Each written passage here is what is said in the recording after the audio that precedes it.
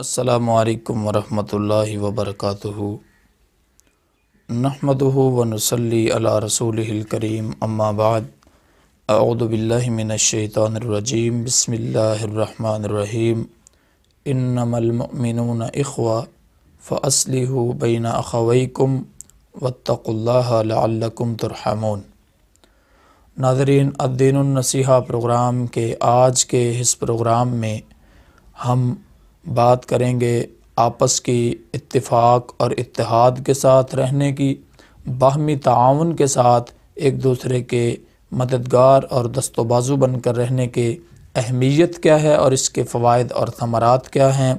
تو ناظرین، قرآن کریم نے اور رسول کریم صلی اللہ علیہ وآلہ وسلم نے اور اسلام کی تعلیمات نے ہمیشہ سے مسلمانوں کو جو حکم دیا ہے، جو درس دیا ہے، جو طرز زندگی اور طرز بندگی اپنانے کو کہا ہے، وہ آپس کے اتفاق اور اتحاد کی فضا ہی ہے۔ اسلام نے اس چیز پر بہت زیادہ زور دیا ہے، جیسا کہ اللہ تعالیٰ نے قرآن کریم میں صورت الحجرات آیت نمبر دس میں اعلان فرمایا ہے انم المؤمنون اخوا تمام مومن دنیا کے کسی کونے میں بھی ہوں۔ وہ روم میں ہوں، وہ فارس میں ہوں، وہ مشرق میں ہوں، مغرب میں ہوں، شمال میں ہوں یا جنوب میں ہوں۔ وہ دنیا کے کسی بھی کونے میں ہوں، تمام مومن جو ہیں وہ آپس میں بھائی بھائی ہیں۔ فاصلح بین اخویکم اور تم اپنے بھائیوں کے درمیان صلح ہی کرواؤ۔ ان میں لڑائی مت ہونے دو، ان میں فتنہ اور فساد مت پھیلاؤ۔ آپس میں صلح کرواؤ۔ وطق اللہ اور اللہ سے ڈرتے رہو۔ لعلکم ترحمون، تاکہ تم پر رحم کیا جائے۔ اور دوسرے مقام پر سورہ آل عمران ہے، آیت نمبر 130 اللہ تعالیٰ اپنے قرآن مجید میں اتفاق اور اتحاد کے ساتھ رہنے کو بہت بڑی نعمت قرار دیتے ہیں۔ اللہ تعالیٰ کا ارشاد ہے فد کرو ود کرو نعمت اللہ علیکم اد کن تم اداً فلف بین قلوبی کم فصبح تم بن ہی اخوانہ یاد کرو، اللہ کی اس نعمت کو جب تم آپس میں دشمن تھے، لیکن اس کی نعمت کے ساتھ اللہ نے تمہیں بھائی بھائی بنا دیا اور تمہارے دلوں میں محبت کو پیدا کر دیا۔ الفت کو پیدا کر دیا، مودت کو پیدا کر دیا۔ تو یہ اللہ تعالیٰ کی بہت بڑی نعمت ہے۔ اسے کھوئیے مت، اسے اپنے سے دور مت ہونے دیجیے خدارہ اتفاق اور اتحاد کو قائم رکھیے، آپس کی فضا کو قائم رکھیے۔ اور پھر اس کے آپ دیکھیں گے بے شمار فوائد جو قرآن و سنت نے اس کے بیان کیے ہیں، اس میں سے چند ایک ہم انشاءاللہ بیان کریں گے۔ اس وقت میں سمجھتا ہوں بہت زیادہ ضرورت بھی ہے، اہمیت بھی اس چیز کی بہت زیادہ اختیار کر چکی ہے۔ کہ ہم آپس میں اتفاق اور اتحاد کے ساتھ رہیں، مگر افسوس کے ساتھ کہنا پڑ رہا ہے کہ آج کل ہمارے معاشرے کے لوگ اس قدر جذباتی ہو چکے ہیں۔ کہیں خاندانی لڑائیاں ہیں کہ ختم ہونے کا نام نہیں لے رہی، ذاتی دشمنیاں ہیں کہ بجائے ختم ہونے کے بڑھتی چلی جا رہی ہیں۔ خود پسندی انتہا کو پہنچ چکی ہے، ہر کوئی اپنی برتری دوسرے پر ثابت کرنا چاہتا ہے، اپنی فقیت ثابت کرنا چاہتا ہے۔ اور ہر شخص دوسرے سے بجائے اس کے کہ ہم ایک دوسرے سے محبت کریں، الفت کریں، ان کے دست و بازو بن کے رہیں۔ ہم ایک دوسرے کے خلاف نفرت، حسد اور بغض اور کینہ لے کر کھڑے ہیں۔ اور بجائے اس کے کہ ہم دوسروں کی مدد کریں، ان کے لیے آسانیاں پیدا کریں جو کہ اسلام کی تعلیمات ہیں۔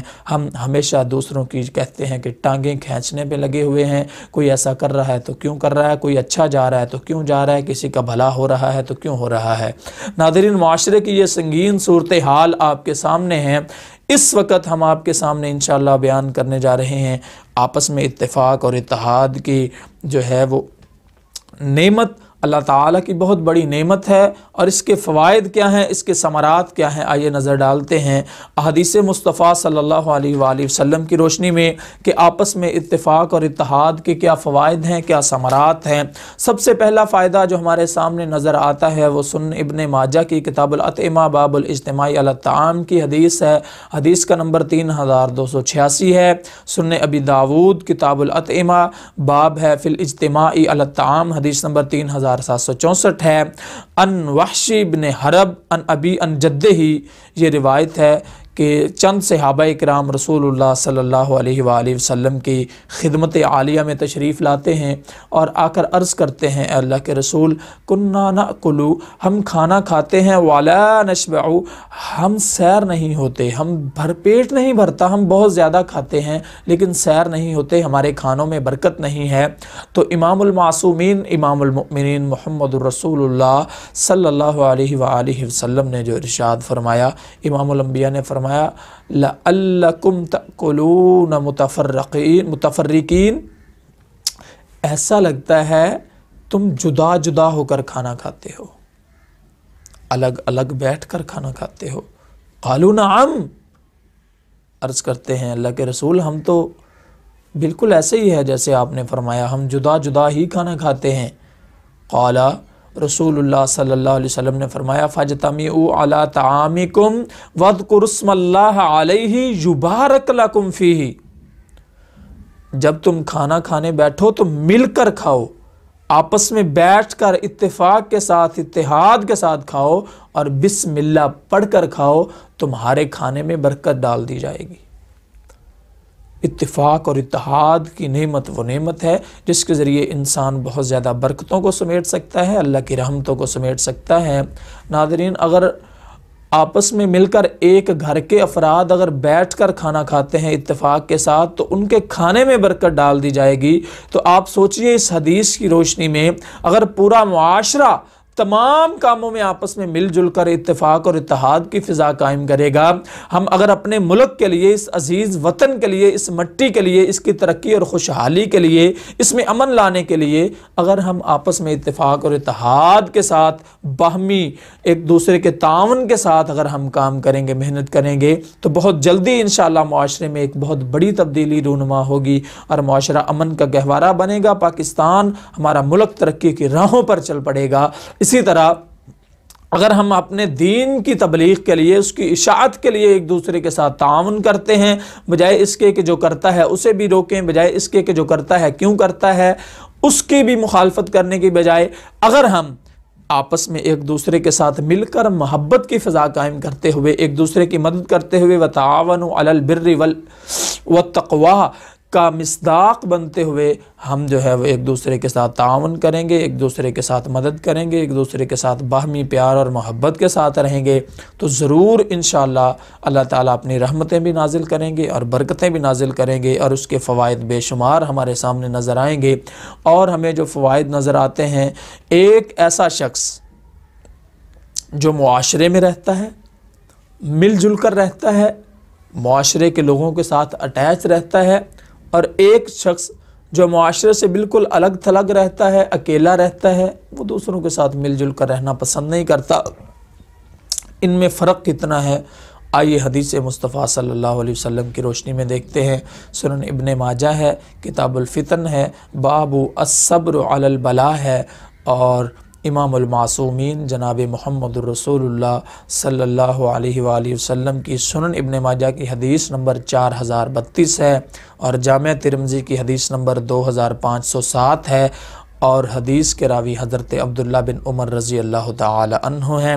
روایت کرتے ہیں کہ امام الانبیاء محمد الرسول اللہ خاتم النبیین علیہ السلاۃ والسلام، محبوب کی علیہ السلاۃ والسلام نے فرمایا کہ وہ مومن، المؤمن الذي جو الناس و یسبر آداہم ایسا مومن شخص جو لوگوں کے درمیان رہتا ہے، مل جل کر رہتا ہے اور اگر معاشرے میں رہتے ہوئے اسے کسی قسم کی تنگی اور پریشانی کے سامنا کرنا پڑتا ہے اس پر صبر کرتا ہے کہ اتفاق اور اتحاد کی فضا قائم رہے۔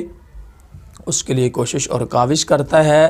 تو امام الانبیاء فرماتے ہیں، اعظم اجرن یہ شخص زیادہ بڑا اجر لے گا، زیادہ اجر کا مستحق ہے۔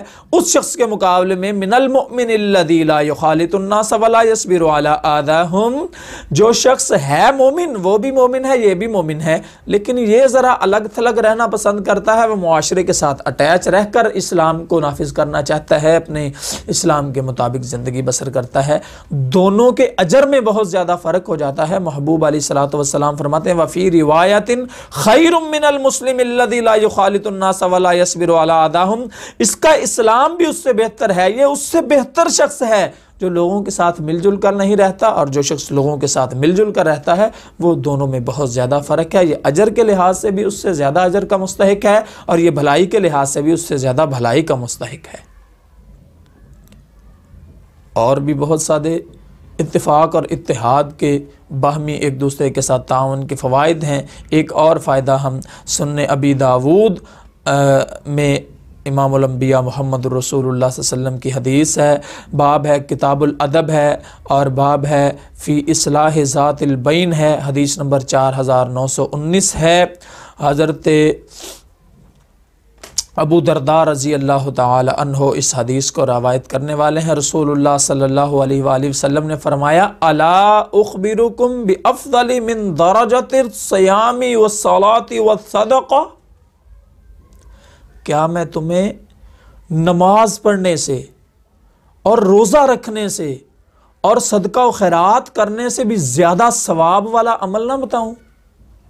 عبادت سے بھی بڑا اجر کالو بلا یا رسول اللہ صلی اللہ علیہ وآلہ وسلم، اللہ کے رسول ہمیں ضرور بتلائیے ایسا عمل۔ دیکھیں کتنا پیارا انداز ہے محبوب علیہ السلاۃ والسلام کا کہ پہلے سوال کرتے ہیں تاکہ چیز کی اہمیت اور اس کی افادیت واضح ہو جائے۔ صحابہ کرام عرض کرتے ہیں، اللہ کے رسول ہمیں ضرور بتائیے، نماز پڑھنے سے بھی زیادہ ثواب ہے، روزہ رکھنے سے بھی زیادہ ثواب ہے اور صدقہ و خیرات اللہ کے رستے میں مال خرچ کرنے سے بھی زیادہ اجر و ثواب والا کون سا عمل ہے؟ محمد رسول اللہ صلی اللہ علیہ وسلم فرمایا اصلاح ذات البینی آپس کی صلح رکھو، آپس میں مل جل کر رہو۔ پیار اور محبت کے ساتھ رہو۔ محبت کی فدا کو قائم رکھو، ایک دوسرے کے ساتھ دست و بازو بن کر رہو، ایک دوسرے کے مددگار بن کر رہو۔ یہ نماز پڑھنے سے بھی زیادہ افضل عمل ہے، یہ روزہ رکھنے سے بھی زیادہ افضل ثواب ہے اس کا۔ اللہ کے راستے میں خرچ کرنے سے کہیں زیادہ اس کا اجر اور ثواب ہے۔ اور پھر محبوب علیہ صلاۃ والسلام نے فرمایا وہ فساد و ذات البینی الحالقہ جو ایک دوسرے کے ساتھ لڑائی جھگڑا ہے، آپس میں معاشرے میں فتنہ اور فساد ڈالنا ہے، یہ تو ہلاکت ہے نیری بالکل سر کو موڑ دینے والی چیز ہے، رسوائی کی چیز ہے۔ یہ جو ہے، وہ بربادی کی طرف لے جانے والی چیز ہے۔ تو حضرات، ہم جو ہے، وہ اتفاق اور اتحاد کے فوائد اور اس کے ثمرات پر بات کر رہے ہیں۔ آپ سن رہے ہیں، حضرات، ہم چاہیے ہمیں کہ اسلام کی تعلیمات کے مطابق ہم ایک دوسرے کے ساتھ اتفاق اور اتحاد کے ساتھ رہیں، باہمی تعاون کے ساتھ رہیں۔ ایک اور فائدہ ہم ذکر کرتے ہیں جو کہ کتاب الادب سنن ابی داود میں ہے، باب فی حسن الخلق ہے، حدیث نمبر چار ہزار آٹھ سو ہے۔ حضرت ابو امامہ باہلی رضی اللہ تعالیٰ عنہ نبی علیہ صلاۃ والسلام کی اس حدیث کے راوی ہیں اور امام الانبیاء نے آپس میں اتفاق اور اتحاد کی بہت بڑی فضیلت اور بہت بڑی خوشخبری آپس میں رہنے والوں کے لیے سنا دی ہے۔ خوشخبری کیا ہے امام الانبیاء، امام المعصومین، خاتم النبیین صلی اللہ علیہ وآلہ وسلم فرماتے ہیں، انا دعیم ببیت فی ربد الجنہ لمن ترک المراء و ان کان محقا. محبوب علیہ السلام فرماتے ہیں، میں اس شخص کے لیے جنت میں گھر کی ضمانت دیتا ہوں جو حق پر ہونے کے باوجود لڑائی جھگڑا چھوڑ دے. مل جل کر رہنے کو ترجیح دے، صلہ رحمی کو ترجیح دے، آپس میں مل بانٹ کر جو ہے وہ ہر کام کرنے کو ترجیح دے، معاشرے میں امن کو ترجیح دے کہ کہیں حق تو اس کو دیا ہے شریعت نے کہ اگر اس پر کوئی زیادتی ہوئی ہے وہ حق پر ہے، بدلہ لے سکتا ہے، لیکن اس کے باوجود وہ اتفاق اور اتحاد کے ساتھ زندگی گزارنے کو ترجیح دیتا ہے، اپنا حق بھی چھوڑ دیتا ہے۔ تو ایسے شخص کے لیے جنت کی گھر کی بشارت دی ہے محمد رسول اللہ صلی اللہ علیہ وسلم کی زبان اقدس سے۔ تو نادر ناظرین، پروگرام کے آخر میں ہم ایک بار پھر آپ سے یہ التماس کرتے ہیں کہ جس قدر ممکن ہو سکے اختلافات سے دور رہیے، اختلافات سے بچ جائیے، اتفاق اور اتحاد کے ساتھ۔ اللہ تعالیٰ کی رسی کو پکڑنے کے ساتھ قرآن و سنت کے مطابق زندگی بسر کیجیے